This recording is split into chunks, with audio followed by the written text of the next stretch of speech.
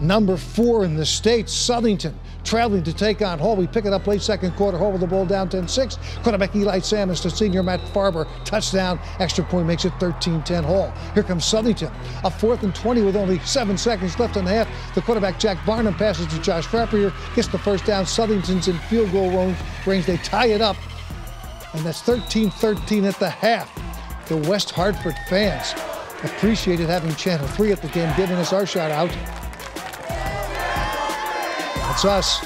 Opening drive, second half. The Hall wide receiver, Angelo Kumo, with a great first down catch, gets Hall going. Later in that drive, a two yard run by the halfback, Leo Pereira, adds another touchdown, making it 2013. Look at this final. Hall upsets the fourth ranked team in the States. 27 to 19 is your tease.